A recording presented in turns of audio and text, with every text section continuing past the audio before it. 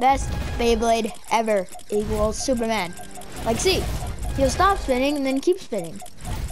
Like, see? Goes back to spinning, spinning. Let's see how spam, how spammy I can get.